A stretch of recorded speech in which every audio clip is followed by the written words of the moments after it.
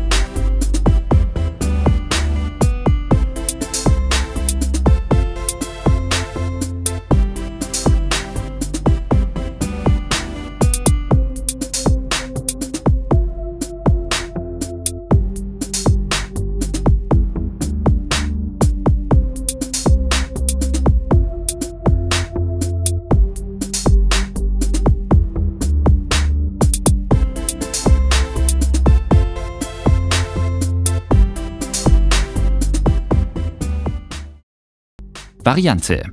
Nun verändern wir die Laufrichtung und die einzelnen Finden. Zuerst führt der Spieler einen springenden Übersteiger durch. Dann wendet er Personenwende mit links. Am letzten Hütchen führt er den Trick Abkappen durch und spielt den Doppelpass.